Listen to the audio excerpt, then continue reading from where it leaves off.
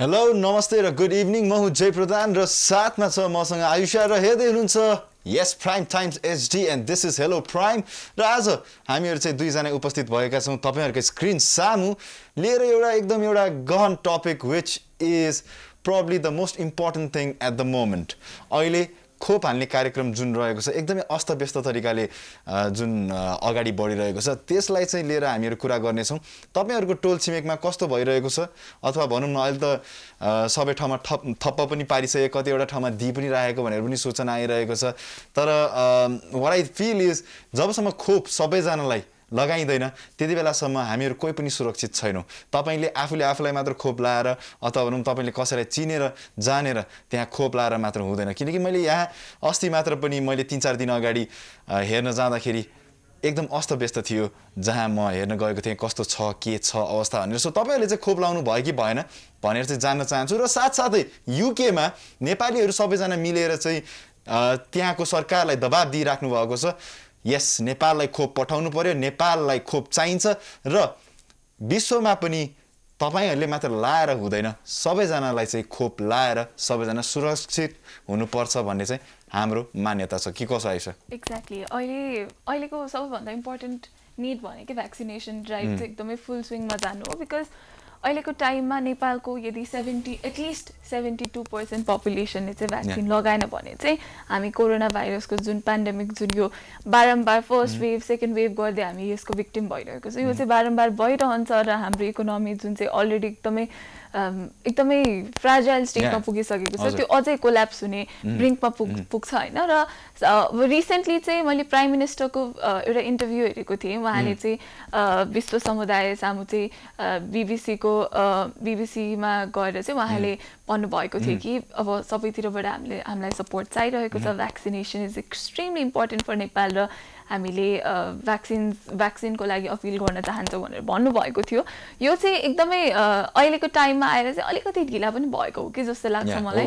Because few while ago नै? उहाँले नै एकदमै सबै सिचुएसन नेपालमा अन्डर कन्ट्रोल छ भनेर भन्नुभएको थियो होइन? र त्यसले चाहिँ विश्व समु समुदायमा चाहिँ कस्तो मेसेज जान्छ भन्दाखेरि मतलब they don't really need our support होइन? अब प्राइम मिनिस्टरले सिएनएनमा गएर हामीलाई हाम्रो सिचुएसन सबै अन्डर कन्ट्रोल छ भनेपछि त के मेसेज जान्छ त होइन? मतलब they have enough resources they ह्या दे आर टेकिङ थिङ्स हुन्छ नि अप नच हुन्छ नि? राम्रोसँग सबै कुरा भइरहेछ भन्ने खालको मेसेज जान्छ र र त्यही हो अहिलेको अटमोस्ट इम्पोर्टेन्ट इम्पोर्टेन्स भनेको चाहिँ भ्याक्सिनेसन नै हुनुपर्छ र अहिलेको टाइममा चाहिँ less than five percent of Nepali पपुलेसनले चाहिँ भ्याक्सिन लगाएको छ which is not enough at all के एक्ज्याक्टली एक्ज्याक्टली एकदमै तनावपूर्ण स्थिति रहेको छ। जबसम्म हामीहरू चाहिँ सबैजनाले भ्याक्सिन लगाउँदैनौँ कोही पनि सुरक्षित छैनौँ र जस्तो खालको यहाँ मेसेज गयो आइसाले पनि भनिहाल्यो that the prime minister calling out to the world that we are safe everything is under control was a bogus होइन? एकदमै अहिले जुन खालको स्थितिमा छौँ हामीहरू झन्डै सातौँ हप्तामा छौँ लकडाउन भएको देशव्यापी रूपमा लकडाउन भएको छ र यसले गर्दाखेरि अर्थतन्त्र त आफैमा नरमाइलो एउटा स्लोप लिइसकेको छ भने हाम्रो जिन्दगीले पनि नराम्रो स्लोप लिइसकेको छ। काम केही छैन गर्नलाई केही छैन मानसिक तनाव बढिरहेको छ र पक्कै पनि lockdown is not the solution lockdown is not a preventive measure as well भन्ने कुरा चाहिँ पुष्टि भइसकेको जस्तो लागिसक्यो। किनकि जुन जुन देशहरूमा युरोप लगायत अमेरिकादेखि लिएर हरेक देशमा जसमा चाहिँ राम्रोसित खोपको लगाउने कार्यक्रमहरू भइसकेका छन् ती देशहरूमा सबैजना बाहिर गएर आफ्नो जुन चाहिँ दिनचर्या छ जस्तो जीवनशैली छ त्यसलाई बिताउन थालिसके र इकोनोमी पनि चलायमान भइसक्यो र हाम्रो देशमा भने चाहिँ केही पनि भएको छैन। यदि तपाईँहरूलाई पनि यही सामु केही कुरा राख्नु छ केही कुरा गर्नु छ तपाईँहरूको छरछिमेकमा कस्तो भइरहेको छ तपाईँको सहरमा के भइरहेको छ तपाईँलाई केही कुरा पोख्नु छ भने तपाईँले हामीहरूलाई कल गर्न सक्नुहुन्छ। यस numbers would be blinking right down there र म र आइसा छौँ तपाईँहरूकै सामु हेलो प्राइममा अहिले जाँदैछौँ गीततर्फ yup so let's go welcome back ladies and gentlemen हेर्दै हुनुहुन्छ hello prime only on prime times HD र आज चाहिँ हामी भ्याक्सिनेसनको कुराकानी गर्दैछौँ नेपालमा भ्याक्सिनेसन ड्राइभ कस्तो भइरहेको छ र त्यसलाई चाहिँ कसरी अगाडि बढाउनु पर्छ? अथवा तपाईँले लाउनु भयो कि भएन? कस्तो सजि सहजै लाउनु पाउनु भयो कि गाह्रो भयो कि? तपाईँको एरियामा चाहिँ कस्तो खालको अवस्था छ भ्याक्सिनेसनको सेरोफेरोमा रहेर हामी आज कुराकानी गर्नेछौँ होइन यति बेला कोही साथी हुनुहुन्छ त्यही विषयमा कुराकानी गर्नको लागि हेलो? होला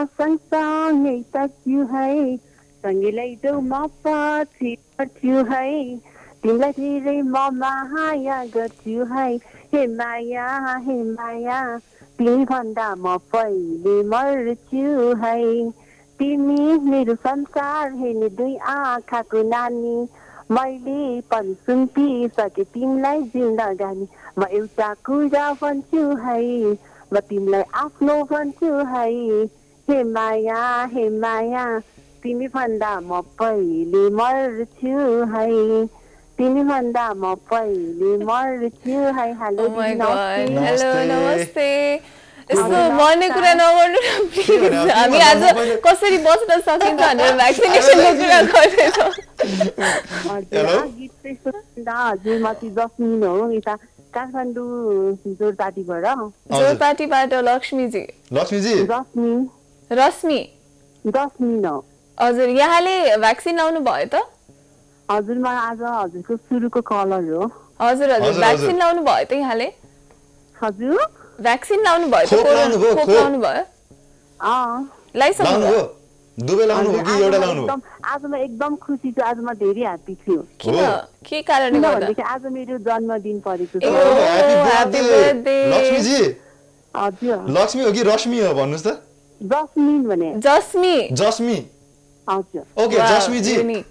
ओके तपाईँको. जन्मदिन परेको छ होइन जन्मदिनको बेला चाहिँ तिमी भन्दा म पहिला मर्छु म भन्दा तिमी पहिला मर त्यस्तो भन्ने होइन कि है तपाईँको तपाईँको जिन्दगी यति लामो होस् यति स्वस्थ हुनुहोस् मनपर्छ है गीत सङ्गीतलाई हजुर। म एकदम धेरै माया गर्छु हजुरको प्रोग्राम हिजो अस्ति नि हेरेको थिएँ कति फोन कति बेस्ट बेस्ट हो। अनि आज चाहिँ भगवान् आज बर्थडे। भएर ठ्याक्कै लाग्यो तपाईँको birthday बर्थडे भयो। लभ आज मेरो गड हो म चाहिँ भगवान् आज प्लिज मेरो बर्थडेको दिन फोन लाग्योस् लागोस् भनेर मैले भित्रैदेखि भगवान्सँग तपाईँलाई जन्मदिनको धेरै धेरै शुभकामना र छिट्टो भन्दा छिटो भ्याक्सिनेसन दुवै डोज लाउन पाउनुहोस् भनेर पनि विस गर्न चाहन्छु होइन एउटा कुरो अँ, भन्छु, भन्नुहोस् न mind नगर्नु भन्नुहोस् ल।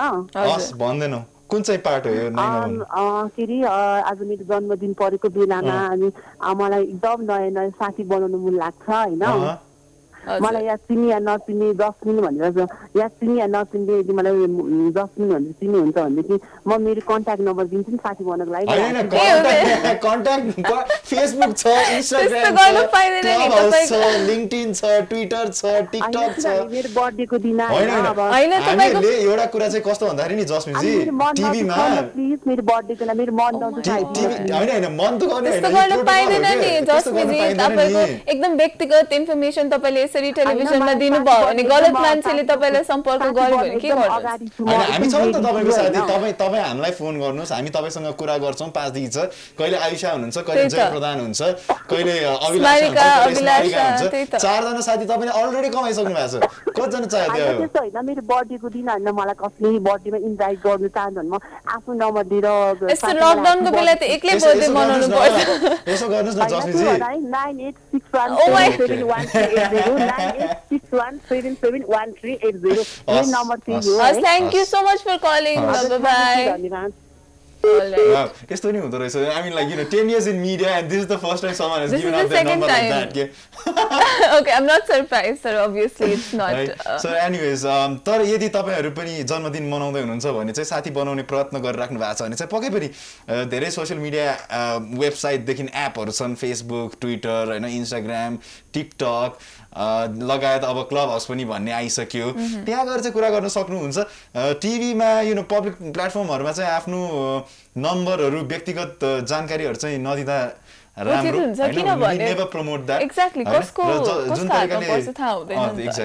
so it's not good for you हाम्रो लागि पनि to we are not here to हुन्छ नि कनेक्टिभ विथ अदर पिपल हामी त तपाईँको कुरा सुन्नको लागि तपाईँको विचारहरू अथवा नेपाली जनमासमा चाहिँ केही विषयमा कस्तो खालको मेसेज छ भनेर बुझ्नको लागि कुरा गर्न आएको हौँ तपाईँको। त्यस्तो व्यक्तिगत कुराहरू चाहिँ हामी त्यसरी गर्न सक्दैनौँ र अबदेखि त्यस्तो नगरिदिनु होला भनेर रिक्वेस्ट गर्न चाहन्छु। एनिवे आज हामी भ्याक्सिनेसनको?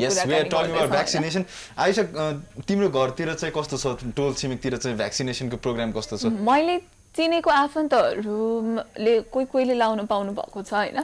मैले आफैले पनि लाउनु पाएको छैन मेरो इमिडिएट फ्यामिली मेम्बर्सहरू पनि कसैले लाउनु पाउनु भएको छैन। र मोस्टली होइन अब यो भन्दाखेरि एकदम बेटर साउन्ड गर्छ तर मोस्टली चाहिँ जसको चाहिँ कन्ट्याक्ट्स रिचहरू राम्रो छ उहाँहरूले चाहिँ लाउनु पाउनु भएको छ कि?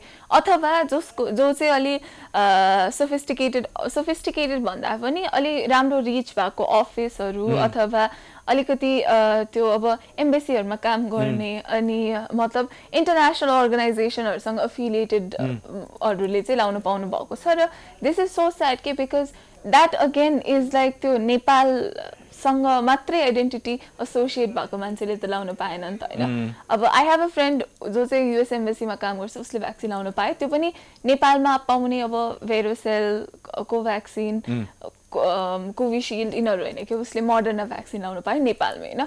सो यो जुन डिस्क्रिपेन्सी छ होइन इट्स सो स्याड कि बिकज अब just because somebody has a certain job just because somebody comes from a certain geographical location भनेर चाहिँ. उसले चाहिँ राम्रो एफिकेसी भएको भ्याक्सिन लाउन पायो होइन इमिडिएटली लाउन पायो विदाउट एनी ह्यासल लाइनमा पनि बस्नु परेन कुर्नु पनि परेन होइन सो यो चाहिँ unfair distribution is going to be so unhealthy for the country in general for the world in. General in in the long run के. होइन। So yeah that is something that I I actually thought of किनकि जुन कुरा आइसाले भन्नुभयो त्यही कुरा चाहिँ मैले पनि अलिकति फिल गरेँ। अस्तिको ताका जुन चाहिँ one day before the last vaccination डेमा चाहिँ म यसो एक राउन्ड हान्न गएको थिएँ कहाँ कहाँ के के भइरहेछ भनेर। र त्यति बेला चाहिँ यसो हेर्दाखेरि चिन्ने जान्नेहरूले चाहिँ धेरै नै भ्याक्सिनेसन पाउनु भएको थियो। जो चाहिँ लाइनमा बस्न आइराख्नु भएको थियो उहाँहरूले पाइराख्नु भएको थिएन। र यस्तो हुँदा हुँदै त्यो एरियामा झडप पनि भयो। र त्यो झडप हुँदाखेरि अब मान्छेहरू आत्तिँदा तातिँदा कस्तो हुन्छ झन्?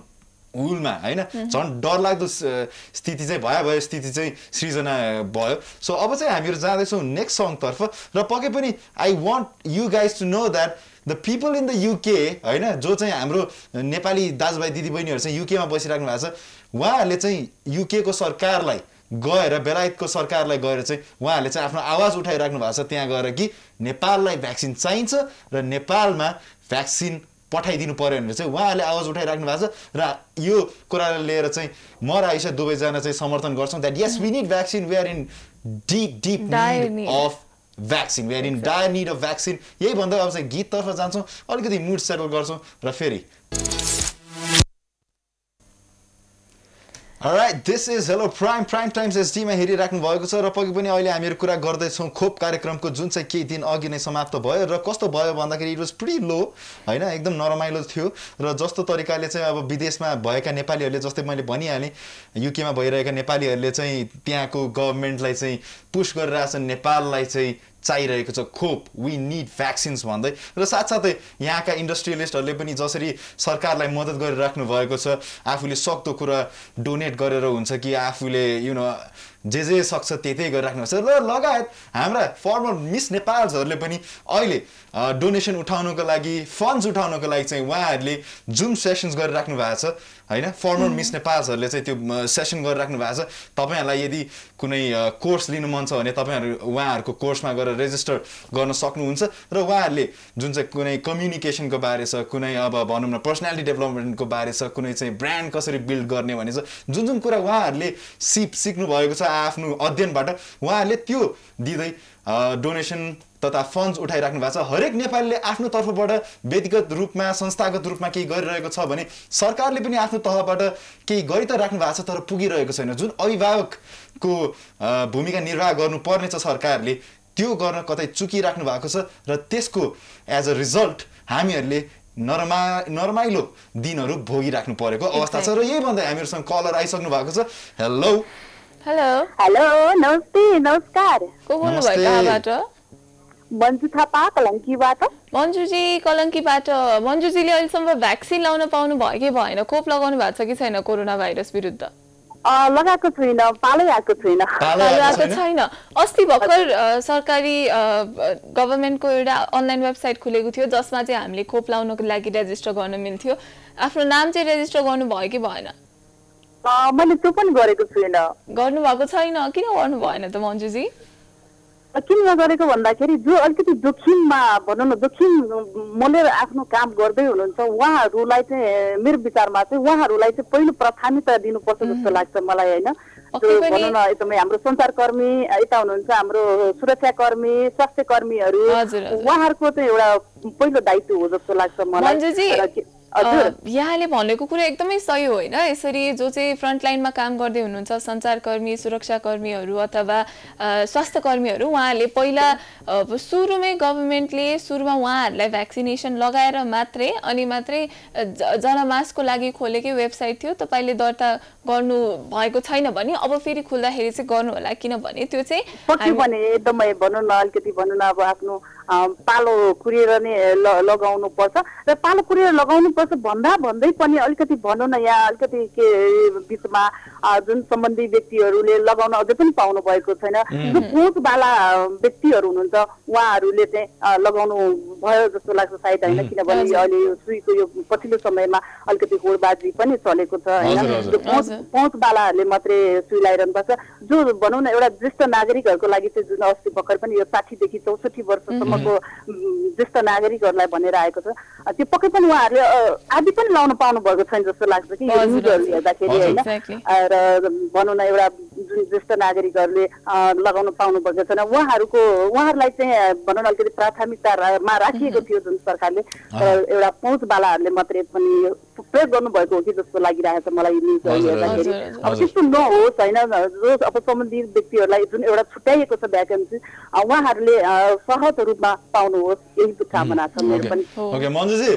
हजुर। तपाईँको परिवारमा चाहिँ कतिजनाले लाउनु भएको छ त खोप? तपाईँको परिवारमा साठी वर्षदेखि माथिका मेरो पनि छन्? भएको छैन मम्मी पनि बुवा पनि होइन। सायद लगाउनु भएको छैन जस्तो। लागिरहेको छ मलाई। हजुर हजुर। So okay Manjuji. हजुर। तपाईँलाई अब यो खोप दिने जुन कार्यक्रमहरू आउ आउँछन् होला अझै होइन किनकि सबैजनाले त पाएको छैन तपाईँले पनि पाउनु भएको छैन मेरो मैले पनि पाएको छुइनँ अहिलेसम्म होइन? सो तपाईँले चाहिँ त्यो अब कस्तो खालको अपेक्षा राख्नु भएको छ सरकारबाट? कति चाँडै कति ढिला कस्तो खालको सिस्टम चाहिँ अगाडि आउँछ जस्तो लाग्छ तपाईँलाई? यो अब भनौँ न अब सबैलाई एकदमै सहज तापमा हो। सबैले लाउन पाउनुपर्छ होइन? सबैलाई सबैलाई पुगोस्। भनौँ यो भनौँ न अलिकति अब बालाहरूले अलिकति फोकस गर्नुहुन्छ होइन? यो एकदमै सरल रूपमा नै आओस् जस्तो लाग्छ मलाई। एकदमै छिटोभन्दा छिटो यो सुईको अति आवश्यक छ होइन? र सबैलाई एकदमै सहज रूपमा होस् भन्ने चाहन्छु। हजुर. धेरै धेरै धन्यवाद मन्जुजी। यहाँले एकदमै महत्त्वपूर्ण कुराहरू गर्नुभयो। अब हजुर। बस्ने गीतको एकदमै धन्यवाद छ। भनौँ न यो जुन एउटा समय सान्दर्भिक विषयहरूलाई ल्याउनुहुन्छ। म हरेक दिनले यो टेलिभिजन हेरेर नै साथ दिएर हुन्छु किनभने अब अरू साथीहरूलाई पनि पालो दिँदै कार्यक्रम हेरेर साथ दिन्छु र हामीले के पक्कै पनि बुझ्ने एउटा अवसर पाउँछौँ होइन। र के म, सन्देशहरू पक्कै मनोरञ्जन पनि छ र के सन्देशहरू पक्कै दिनुभएको छ। एकदमै यहाँहरूप्रति म एकदमै धेरै धेरै भित्रै आफ्नैदेखि एकदम धन्यवाद दिन चाहन्छु. धेरै धेरै धन्यवाद। एकदमै. खुसी लाग्यो यहाँले त्यस्तो भन्नुभयो। हजुर एकदमै सरकार भनेको। एउटा हाम्रो गार्जेन हुनुहुन्छ एउटा अभिभावक हुनुहुन्छ उहाँहरूले बुझ बुझिदिनुहोस् कि सबैलाई सरल रूपमा भ्याकेन्सी आओस् सब यो कोरोना भाइरस चाँडै नै भागोस् होइन? त्यही कामना गर- गर्दै सम्झना र सन्देश राख्नु पर्दाखेरि त एकदमै तपाईँहरू दुवैजनाको मिठो आवाजमा आवाज मिसाउन पाएँ तपाईँहरू दुवैजनालाई त मिठो सम्झना मिठो माया एकदमै. सुरक्षित रहनु होला भन्न चाहन्छु र मेरो आवाजहरूलाई टेलिभिजनसम्म पुर्याएर टेक्निसियनमा सपोर्ट गरिदिनु भयो तपाईँहरू र म बिचको दूरीलाई अझ नजिक आत्मीयता बनाइदिनु भएको छ। प्राविधिक कतिबाट साथ दिनुहुने प्राविधिक मित्रलाई पनि एकदम विशेष धन्यवाद दिन चाहन्छु। टेलिभिजन परिवारलाई पनि मेरो एकदम मिठो सम्झना मिठो माया हरेक प्रोग्रामहरूको एकदमै सफलताको शुभकामना व्यक्त गर्न चाहन्छु। र तपाईँहरूका ती सुन्दर तस्बिरहरूलाई क्यामेरामा कैद गरेर देखाइदिनु भएको छ क्यामेराम्यानहरूलाई पनि म एकदम विशेष धन्यवाद दिन चाहन्छु। र यति बेला एकदम हेर्दै हुनुहुन्छ होला हाम्रो बुद्ध रत्न दाई प्रशान्त। लगायतका एकदमै मेरा धेरैभन्दा धेरै साथीहरू हुनुहुन्छ धेरै साथीहरूको नाम छुटाएको छु मैले मैले त्यो कसैलाई पनि बिर्सेकी छैन। आँखाभरिका सम्झना मुटुभरिको माया अनलाइनको माध्यमबाट देश विदेशमा रहेर यो टेलिभिजन हेरेर साथ दिनुभएको छ। सबै सबै साथीहरूलाई एकदम मेरो मिठो सम्झना मिठो माया भन्दै अब बस्ने गीत सुन्न र सुनाउँदै तपाईँ मासबाट बिदा भयो हस् त नमस्कार बाबाई वाउ आई थिङ्क उहाँको त्यो होल फोन कलको हाइलाइट चाहिँ उहाँको इन्साइटफुल कन्भर्सेसन बाहेक. चाहिँ एक सासमा कहिले निस्किन्छ सो आज चाहिँ हामी भ्याक्सिनेसनको कुरा गर्दैछौँ र. मन्जुजीले भन्नुभयो अनुसार पालो कुरेर राम्रोसँग भ्याक्सिन लगाउन पाएको छैन हामीले होइन? र अघि जयले भने जसरी अब जसरी कति कन्ट्रिजहरूको चाहिँ इकोनोमी नै रिज्युम भइसक्यो उहाँहरूको. पपुलेसनले भ्याक्सिनेसन लगाएर। सबै थोक नर्मलसम्म आइसक्यो। थालिसक्यो होइन? कति ठाउँमा त मास्क नलाइकन हिँड्न पाउने पुल पार्टिजहरू यताउति सबै भुन्न थालिसक्यो तर हामी अझै पनि त्यो कल्पना पनि गर्न नसक्ने अवस्थामा छौँ होइन? अझ त्यति पर जानै पर्दैन क्या अस्ट्रेलिया अमेरिका त हामीभन्दा फार. मतलब बियोन्ड छन् रिसोर्सेसहरूमा होइन? भुटान अब हाम्रो नेबरिङ कन्ट्री भुटानमा सुत्दा यस्तो राम्रो भ्याक्सिनेसन ड्राइभ भइसक्यो त्यहाँको मेजोरिटी पपुलेसनले भ्याक्सिनेसन लगाइसक्यो र कोही पनि इन्टरनेसनल बोर्डरबाट भुटान छिर्दैछ भने उहाँहरू चाहिँ एक्काइस दिन आइसोलेसनमा बसेर अनि भ्याक्सिन लगाएर मात्रै आफ्नो घर जान पाउने व्यवस्था पनि थियो होइन। अब भुटान जस्तो सानो देश हाम्रो ज हामी जस्तै सानो देशले त्यस्तो गर्न सक्छौँ भने हामी चाहिँ किन चुकिरहेको छौँ होइन. हाम्रो चाहिँ कहाँ के गल्ती भयो र कुन स्तरबाट चाहिँ कहाँ चाहिँ के अड्किरहेको छ जसले गर्दा चाहिँ हामीले चाहिँ भ्याक्सिन लाउन पाएको छैनौँ र हामी चाहिँ भ्याक्सिन लाउन पाउने त्यो अवस्थामा पनि एकदमै टाढा महसुस गर्छौँ किनभने मलाई त केही सिक्योरिटी सिक्योर फिल हुँदैन कि मैले भ्याक्सिन छिटोभन्दा छिटो लाउन पाउँछु र मेरो परिवार मेरो वरिपरिको मेरो जुन समुदायमा पनि त्यो सिक्योरिटी फिल हुँदैन क्या हामीलाई। किनभने त्यो सिक्योरिटी हामीले। फिल गर्ने अवस्था नै छैन होइन? र एक एकतिर कोरोना भाइरसबाट मतलब मृत्यु हुने डर अर्कोतिर काम गर्न नपाउँदा घरमै लकडाउनमा बसिराख्नु पर्दा त्यो जुन परिवारको अवस्था खस्किँदैछ अब झन् काठमाडौँमा सहरहरूमा बस्नेहरू त धेरैजना रेन्टमा बस्नुहुन्छ होइन? कसरी उहाँहरूले गरिरहनु भएको छ? अहिलेसम्म कसरी चलिरहेछ हामी नेपालीहरू भनेरै म छक्क पर्छु कि because it's such a dire situation अनि केही पनि एफर्ट्स नै भएको छैन कि त्यसलाई त्यो मिनिमाइज गर्न? जनमासलाई अलिकति मतलब राहत दिनको लागि यताउति के पनि नै छैन कि जस्ट लकडाउन सबै. थोक ठप्प छ र. लाइफ पनि ठप्प हुने बेला भइसक्यो होइन? So it's very frustrating actually it is indeed त यही frustrate we hope you guys are a great time watching the song र गीत सुनेर पनि एकदम आनन्द लिनुभयो होला भन्ने हामीलाई विश्वास छ होइन? यति बेला चाहिँ कोही साथी हुनुहुन्छ फोन लाइनमा आज हामी भ्याक्सिनेसनको कुराकानी गर्दैछौँ। उहाँले के भन्न चाहनुहुन्छ त? सुनौ है त. हेलो हेलो खबर आज त दुईजना आउनु भएको छ दाइ को बोल्नुभयो कहाँबाट म मुलपानीबाट प्रणय शर्मा प्रणयजी Okay. सन्चै हुनुहुन्छ? अँ एकदम सन्चै छु अहिले पानी पर्दैछ कार्यक्रम हेर्दै हो बस्दै हो होइन त्यस्तै हो अहिले त तपाईँहरूको मुलपानीमा भ्याक्सिनेसनको चाहिँ कस्तो खालको ड्राइभ रह्यो त्यहाँ? यहाँ अब भ्याक्सिन चाहिँ अब अहिले त अब भनौँ न भ्याक्सिन त उता गोठातिर दिइरहेको रहेछ चाइनिज भ्याक्सिन कि कुनै होइन? हजुर। एउटा स्वास्थ्य चौकीमा अनि यहाँ हाम्रो मुलपानीमा यो कोरोना सम्बन्धी अस्पताल छ कि यहाँ दिन मिल्दैन कि अनि उता गएर दिनुपर्ने यो हाम्रो गोठाटारको कहाँ भने यो खरेनीर कि कतातिर छ भने मानटार भन्ने ठाउँमा। प्रणयजीले चाहिँ भ्याक्सिन लाउनु भएको छ कि छैन अहिलेसम्म? मैले त ए- यता त लगाएँ इन्डियन रहेछ होइन? अब अर्को इन्डियन आएको छैन अरे होइन? आउँछ अरे। छिटो आउँछ भन्दै थियो होइन मिडिया हो हो। हजुर, हजुर। यो एउटा अनि पनि एउटा- एकदम ठुलो समस्या हो क्या? अब इन्डियन भ्याक्सिन हजुर पहिला अहिले आयो। मेरो हजुरबाहरूले पनि लगाउनु भएको थियो। हजुर। बुवाहरूले पनि लगाउनु भएको थियो। अनि अहिलेसम्म आएको छैन। सरकारले त्यो व्यवस्था गरिदिनु पर्ने हो। हजुर। गार्जियन हो नि त सरकार त होइन? अहिलेसम्म गरेको छैन। अब बुढा मान्छेहरूलाई झन् गाह्रो हुन्छ। छिटो समय पर्ला डर होला जस्तो लाग्छ कि मलाई चाहिँ हजुर हजुर। सो यसरी अब इन एउटा भ्याक्सिन लगाएपछि त्यो लगाउनु अर्को भ्याक्सिन लगाउनको लागि एउटा सर्टेन टाइमभित्र लगायो भने मात्रै त्यसको इफेक्ट एफिकेसी. चाहिँ मेन्टेन हुन्छ होइन।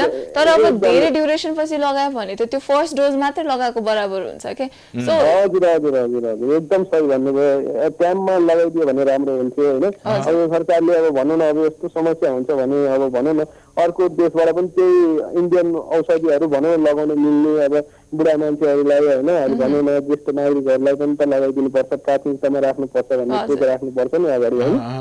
त्यो राखेर अगाडि भनौँ न कतिजना लगाएका छैन दसौँ हजार लगाएका छैनन् होइन? बसिरहेछन् कहिले आउँछ भनेर होइन? साह्रो छ कि? ओके। सो सुन्नुहोस् न मलाई तपाईँसँग एउटा कुरा सोध्नु मन छ कि है? तपाईँले चाहिँ अहिले जसरी भन्नुभयो नि यो भ्याक्सिनेसनको तपाईँले खालि एउटा मात्र डोज लाउनु भएको छ अर्को डोज लाउन पाइरहेको छैन के गर्ने कसो गर्ने अन्यलमा हुनुहुन्छ होइन? तपाईँ लगायत। सब जतिजनाले त्यो इन्डियन भ्याक्सिन लाउनु भएको छ होइन? सबैजना अन्यलमा हुनुहुन्छ। तपाईँलाई चाहिँ सरकारले जुन अहिले जस्तो खालको नीति पुर्याइराख्नु भएको छ अथवा भनौँ न जसरी अगाडि बढिराख्नु भएको छ नि सरकार होइन? जुन मलाई चाहिँ कस्तो लाग्छ भन्दाखेरि आँखा पनि चिम्म गरे मुख पनि धागेको कान पनि नसुन्ने भने जसरी बसिरहेको छ। तपाईँलाई चाहिँ के भन्नु छ यो यो सरकारको यो तौर तरिकालाई लिएर?